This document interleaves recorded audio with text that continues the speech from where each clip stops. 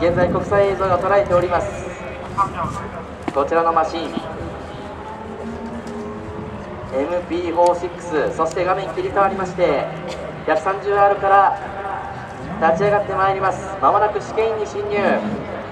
ロータス 100T をドライブする中島悟さん。87年にロータスから F1 デビューをされ日本人初のフルタイム参戦 F1 ドライバー。91年の引退まで5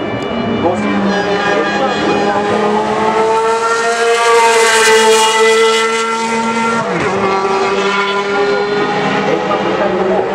そ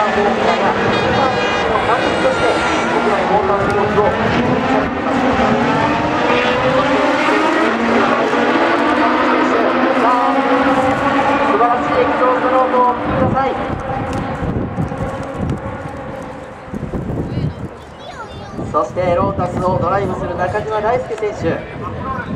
いや本当にお父さんの乗ったマシンをですねドライブするというのはまあ感動もひとしおだと思いますけれどもそして現在ヘアピンを立ち上がりまして 200R まもなくスプーンコーナーのスタンドの皆さんのところスプーンカーブの皆さんのところに行きます。マクラーレンホンダ MP46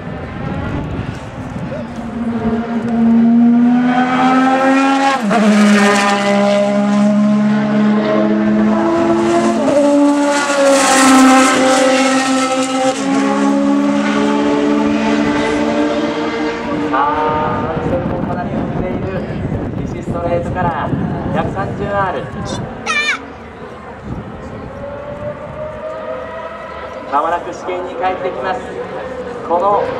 懐かしい赤と白のマシン